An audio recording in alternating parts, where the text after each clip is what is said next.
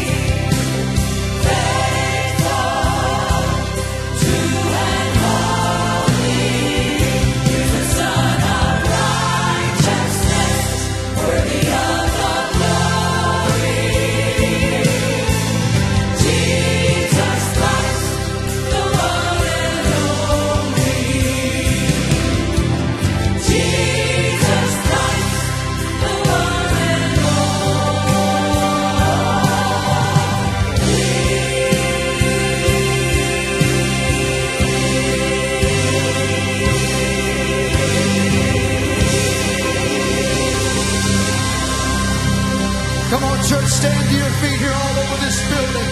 All hail the power of Jesus' name.